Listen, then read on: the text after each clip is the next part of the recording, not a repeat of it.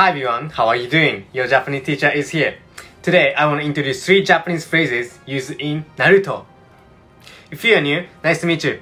I'm the person who can help you study Japanese. I will do my best, so you be your best. I hope you will enjoy. Let's get started. Today's word are マジかよなるほど。何のこと ?Let's start! マジかよ The first one is マジかよ。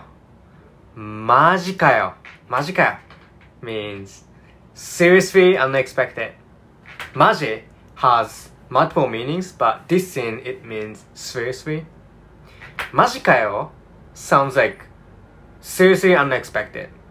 You know, this scene you can also say マジ but マジかよ sounds like more surprised, unexpected version of seriously. Repeat after me. マジかよ。マジかよ。マジかよ。なるほど The second one is なるほど。なるほど。なるほど、なるほど、なるほど、なるほど。means I see. Something you don't understand and you finally understand, you'd say なるほど。Or you listen to someone speaking and use なるほど。Got it? Repeat after me. なるほど。なるほど。なるほど。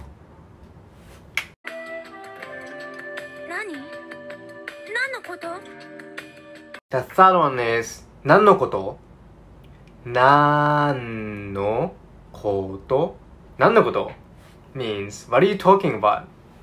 Original word is 何のこと話してるの But I'm sure most of Japanese can understand just 何のこと Repeat after me 何のこと何のこと何のこと何のこと Finish!